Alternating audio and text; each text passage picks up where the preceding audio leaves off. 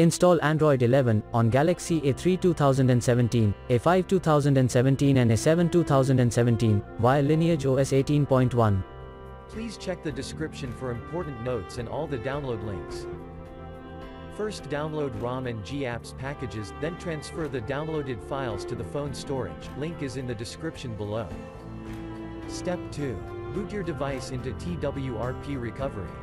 Once in TWRP, click on Wipe, Advanced Wipe, and select the check boxes, as shown in the image, excluding internal storage.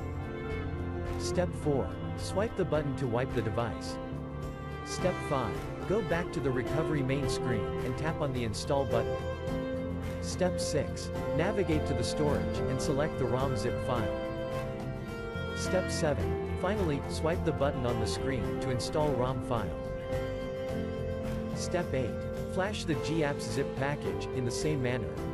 Step 9. After GApps flashing completes, select Wipe Cache and Dalvik from bottom left side of screen, and swipe to wipe. Step 10. When the flashing process is complete, hit Reboot System.